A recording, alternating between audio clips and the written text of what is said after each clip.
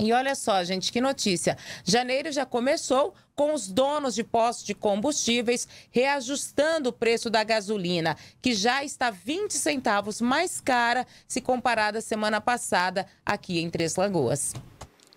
A alta ocorre mesmo após o governo do presidente Lula manter os impostos federais sobre a gasolina e o etanol zerados por pelo menos mais dois meses e sobre o diesel por um ano aumento significativo. Né? A Petrobras ajustou o combustível ah, no final de semana passado. Né? É importante frisar os nossos consumidores sobre isso. Teve um aumento significativo, sim porém não foi o que o governo eleito tinha anunciado. Realmente tinha anunciado uma alta e tirada dos tributos federais, né? O que não houve que foi revogado. Porém, teve aumento sim de combustível. O aumento do combustível começou de forma automática, apesar da prorrogação da isenção de impostos federais sobre os combustíveis feitas neste domingo pelo presidente Lula. Nós estávamos com estoque de gasolina, por exemplo, a 4,99 e hoje nós estamos a 5,19. Aumentinho considerável. Com certeza, né? Além disso, eu estava esperando o pior, né? Que era retirada dos tributos que foi revogado. Que é importante frisar os consumidores, né?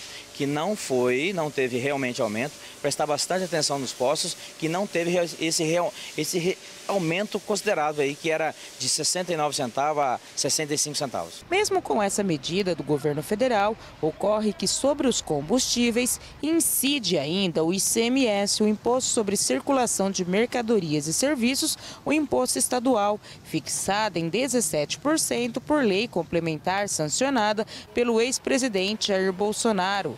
Antes disso, as alíquotas normais eram de 30% sobre a gasolina e 20% sobre o etanol em Mato Grosso do Sul. Segundo o Simpetro, o Sindicato do Comércio Varejista de Mato Grosso do Sul, subiu a pauta do ICMS, que é o valor que dá base ao cálculo da cobrança. No entanto, a alíquota permanece em 17%. Além disso, também ocorreu aumento de custos do etanol, que por fazer parte na composição da gasolina em 27%, o que também altera o preço final. Leandro Marini, proprietário de postos de combustíveis em Três Lagoas, espera que o governo estadual possa rever essa questão. Está sendo corrigido pela Petrobras ainda hoje para ver como que vai ficar de estado para estado a esse revogaço, né? Se vai ter líquida, é, se vai ter pauta, se vai subir ou não, vai segurar.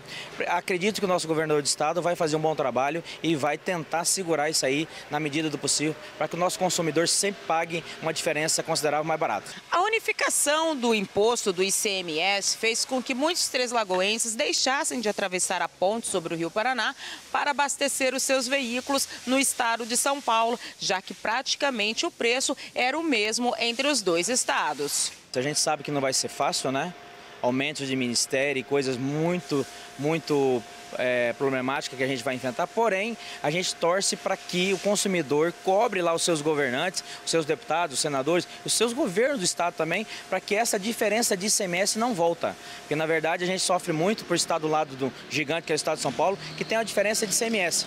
Devemos sim cobrar para que não volte essa diferença e que o governo anterior, o governo federal, unificou o ICMS, dando a possibilidade para o sul-mato-grossense pagar muito mais barato no combustível aqui no Mato Grosso do Sul. Além da gasolina, o etanol também registrou aumento. Segundo Leandro, o litro do álcool estava em R$ 3,99 e foi para R$ 4,09. Já o diesel está custando ainda R$ 6,48 o litro.